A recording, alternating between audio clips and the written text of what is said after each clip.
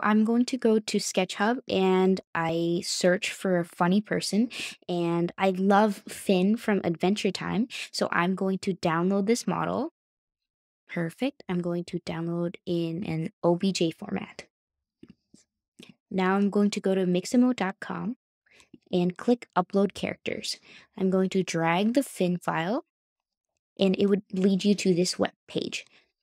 It's gonna make you select the chin area, the wrist area, the elbows, and the knees, and the groin. You can see where everything should be placed in this image. And if your model is not symmetrical, you can turn off the symmetry, but I like to keep it on. This is the most important part. Under the skeleton LOD, you can see these are the number of bones and they're all under 50, so they would work with Effect House. So I'm going to click on this and then click Next. Perfect. Now it's rigging you can see that our model is rigged and now it kind of looks like a real human being. So I am happy with my result. But if you don't like your result and it looks kind of goofy, you can click the back button and re-rig your character. But at the moment, I am happy. So I'm going to click on next. Now my character is uploaded, so I will want to select an animation for him. I am going to go choose a Dancing. Ooh, I like this rumba dancing. Yeah, you can you can also change how enthusiastic the person is, how fast this person is moving, and a bunch of things, but I am satisfied with the result, so I am going to download now.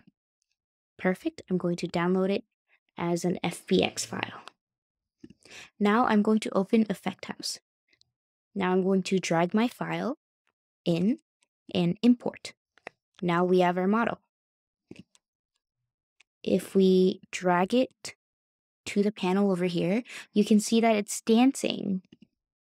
You can use the scale to scale it up.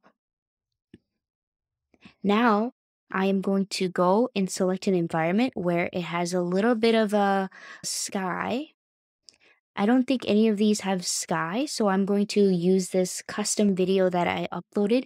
If you want a tutorial on how to upload custom videos, check the card or look at my magical effect house tutorial playlist. It will be under there. Now we're going to add segmentation. Go add objects, segmentation, and now we can see the background. I'm going to turn off the background because I don't need that. Under portrait segmentation, you can select the type of what you want it to be segmented. I'm going to say sky. So now only the sky part is selected.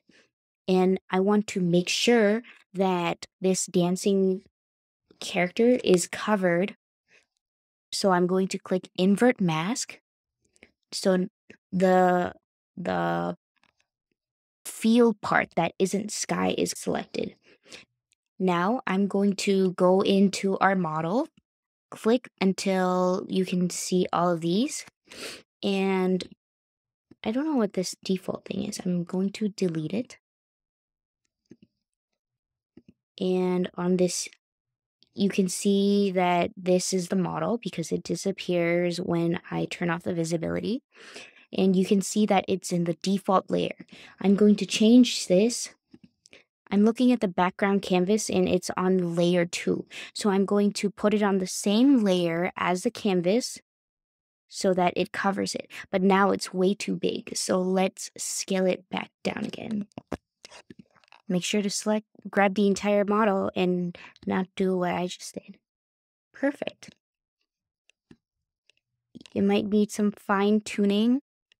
However, now you have the model and it's segmented and it will only show in the sky. So I see the texture for Finn is missing.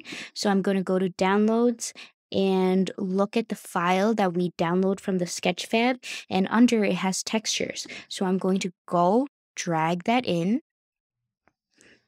For some reason, while it was being imported, I think it got left out. That's fine. We can always fix it. Don't worry.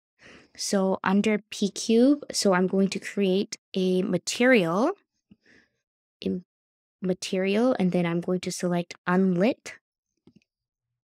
And I'm going to click texture on, and then I am going to add Finn texture. Now I'm going to go select it under P-Cube, and now he has a texture. And this is our dancing samba Finn filter. Yay!